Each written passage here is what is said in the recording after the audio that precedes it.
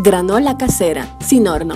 La granola que les enseñaré a preparar hoy contiene las proporciones necesarias de cada elemento para que tu desayuno sea perfecto. Para que un desayuno sea perfecto, debe haber de 4 a 5 cucharadas de cualquier avena, que es un carbohidrato lento y de índice glucémico bajo.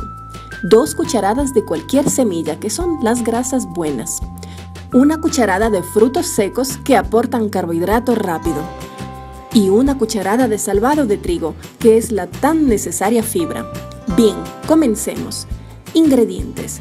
Los ingredientes que tengo aquí son para 7 desayunos, o sea, tendremos granola para toda la semana. Mezclo entre 7 cucharadas de avena dura y 21 cucharadas de avena suave. 7 cucharadas de salvado de trigo. 7 cucharadas de arándanos o blueberries. Las pasas no las uso porque tienen índice glucémico alto y 14 cucharadas de semillas. Yo tengo aquí ajonjolí, linaza entera, chía y muchas nueces, completando así las 14 cucharadas. Esta es la cuchara que usé como medida. Preparar esta deliciosa granola es muy sencillo. Solo mezcla todos los ingredientes y listo.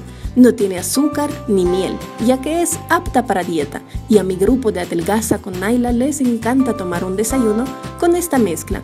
Y a la hora de una dieta, este desayuno brinda excelentes resultados.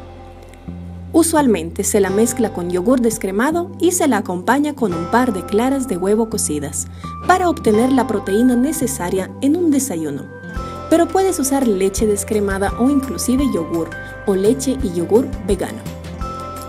Está lista y miren qué rica y concentrada en alimentos muy nutritivos. Apuesto a que ninguna granola de supermercado les brinda todo esto y a un costo inferior. Bien, espero que les haya gustado este tip para preparar granola casera dietética. Este es Fitness Family. Chao, chao.